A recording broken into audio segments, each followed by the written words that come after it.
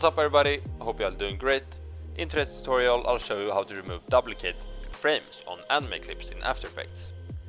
And to all of you asking when the giveaway ends, I will announce the winner really soon, so if you haven't entered yet, this is your last chance. I will leave the link to that video in the description. But with no further ado, let's get right into the tutorial. So first of all, you need to have your anime clip. This is mine. And you see it's very laggy and yeah that's because of the duplicate frames.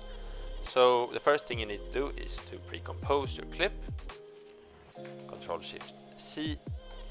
Move all attributes into new composition. After this you need to press control alt T to enable time remapping.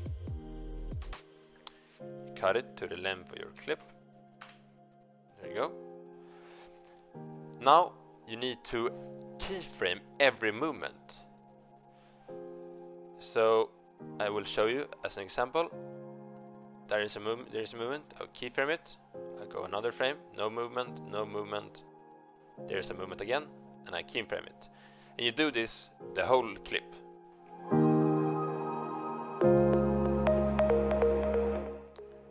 Okay, when you have keyframed every movement, then you need to bring the keyframes closer together, like this.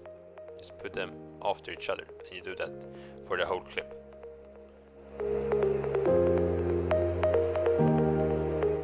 When you're done with that, you can cut the clip at the last keyframe. Uh, now we have this. Much cleaner, and it works a lot better if you want to twixtor the clip as well. And there you go. Thank you for watching. If you enjoyed it and found it useful, don't forget to leave a like and drop a follow. See ya!